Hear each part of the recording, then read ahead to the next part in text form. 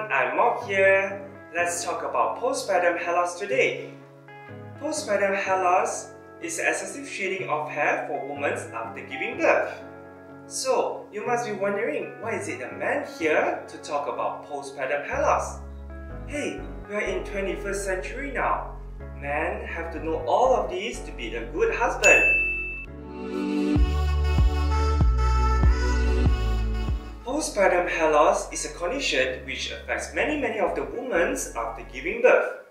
So, during pregnancy, the hormonal changes leads to decrease in hair shedding, resulting in thick and lustrous lock.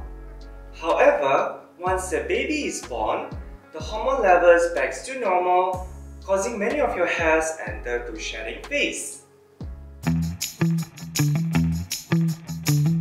Ding ding! Good news for the ladies! Postpartum hair loss is usually temporary. It is most likely to normalize over time. Here's some of the tips that I would like to share to you to manage postpartum hair loss. First of all, be gentle to your hair. Avoid using harsh chemicals, excessive heat styling, or tight hairstyle. Secondly, eating a healthy balanced diet. Eating a healthy balanced diet that's rich in vitamins and minerals that's important for overall hair health.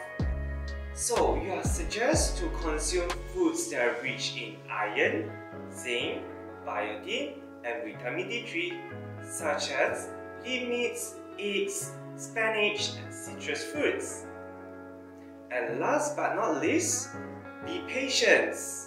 So, postpartum hair loss is typically a temporary condition. It requires several months to regain its pre-pregnancy thickness. So, be patient everyone! That's all from me today. Remember, patience is the key.